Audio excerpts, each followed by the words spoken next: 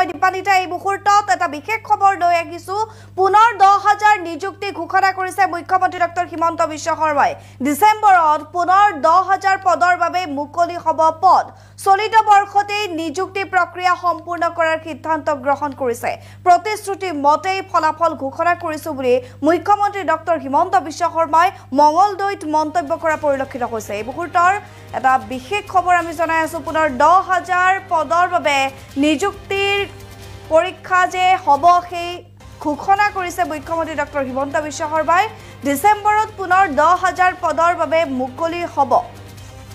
বিজ্ঞাপন মুকলি হ'ব ডিচেম্বৰত পুনৰ পৰীক্ষা অনুষ্ঠিত হ'ব নিযুক্তি প্ৰক্ৰিয়াৰ বাবে। চলিত বৰ্ষতেই নিযুক্তি প্ৰক্ৰিয়া সম্পূৰ্ণ কৰাৰ সিদ্ধান্ত গ্ৰহণ কৰা বুলি ঘোষণা কৰিছে মুখ্যমন্ত্ৰীগৰাকীয়ে।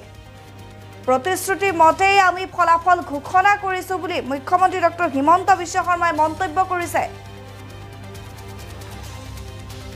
ডিচেম্বৰৰ শেষৰ ফালে মুকলি কৰা হ'ব এই পদসমূহ। প্ৰায় দহ হাজাৰটা পদত পুনৰ নিযুক্তি দিয়া হ'ব। নিবনুৱাসকলৰ বাবে এই মুহূৰ্তত আমি গুৰুত্বপূৰ্ণ খবৰ জনাই আছোঁ। তৃতীয় বৰ্গৰ নিযুক্তি পৰীক্ষাৰ যি ফলাফল আজি ঘোষণা কৰা হৈছিল আৰু সেই ফলাফল ঘোষণাৰ পিছতেই কিন্তু অন্য এক সুখবৰ আহি পৰিছে। নিবনুৱাসকলৰ বাবে পুনৰ দহ হাজাৰ চাকৰিৰ ঘোষণা কৰিছে মুখ্যমন্ত্ৰী ডক্টৰ হিমন্ত বিশ্ব শৰ্মাই আৰু মঙলদৈত মন্তব্য কৰিছে কৈছে যে ডিচেম্বৰত পুনৰ দহ হাজাৰ পদৰ বাবে মুকলি হ'ব বিজ্ঞাপন। ডিচেম্বৰত পুনৰ নিযুক্তি প্ৰক্ৰিয়া অনুষ্ঠিত হ'ব নিযুক্তি প্ৰক্ৰিয়া আৰম্ভ হ'ব দহ হাজাৰটা পদৰ বাবে নিযুক্তি আৰম্ভ হ'ব আৰু চলিত বৰ্ষতেই চলিত বিত্তীয় বৰ্ষতেই সম্পূৰ্ণ হ'ব নিযুক্তি প্ৰক্ৰিয়া। প্ৰতিশ্ৰুতি মতেই আমি ফলাফল ঘোষণা কৰিছোঁ বুলি মন্তব্য কৰা পৰি- পৰিলক্ষিত হৈছে মুখ্যমন্ত্ৰীগৰাকীয়ে।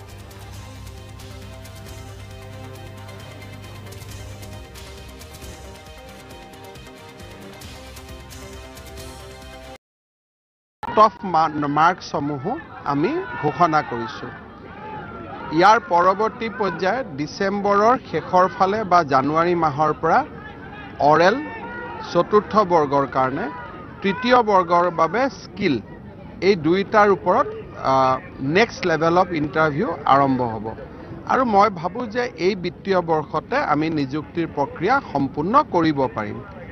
ডিচেম্বৰ মাহৰ শেষৰ ফালে আৰু দহ হাজাৰ নতুন পোষ্টৰ আমি বিজ্ঞাপন উলিওৱাৰ বাবেও যাৱতীয় কাম কাজ আমি আগবঢ়াই লৈ গৈছোঁ। দিব্যাংগসকলৰ বাবে কি ব্যৱস্থা থাকিব? এই গোটেই তেওঁলোকক ইয়াতে চাওক দিব্যাংগসকলৰ গোটেই ব্যৱস্থাটোক আজিকালি মেইন ষ্ট্ৰিমিং কৰা হৈছে।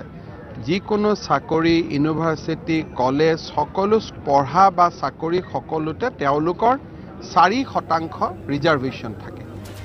আৰু এয়া আছিল মুখ্যমন্ত্ৰী ডক্টৰ হিমন্ত বিশ্ব শৰ্মাৰ মন্তব্য। ম- মঙলদৈত উপস্থিত হৈ তেওঁ পুনৰ নিযুক্তি প্ৰক্ৰিয়াৰ কথা ঘোষণা কৰিছে যে ডিচেম্বৰত পুনৰ দহ হাজাৰ নিযুক্তি প্ৰক্ৰিয়া আৰম্ভ হ'ব।